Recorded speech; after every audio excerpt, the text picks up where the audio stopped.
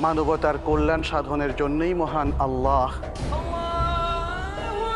ইসলামী শরিয়ার সকল বিধান প্রণয়ন করেছেন।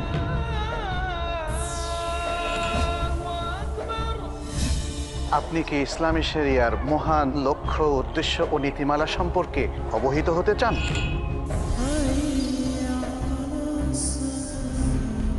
কীভাবে ইসলামী শরিয়া মানবতার কল্যাণ সাধন নিশ্চিত করেছে তা কি আপনি জানতে চান?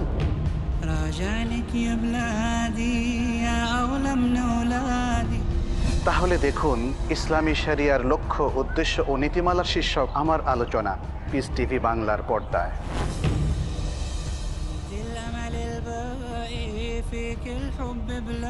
জানুন, জীবনের সঠিক উদ্দেশ্য বুঝুন, ইসলামী সারিয়ার কার্যকর নির্দেশাবলী। ইসলামী সারিয়ার মহান লক্ষ্য ও উদ্দেশ্য। প্রতি শুক্রবার রাত সাড়ে আটটায় বা পুনঃ সম্প্রচার সকাল সাতটায় বাংলাদেশে বিস টিভি বাংলায়।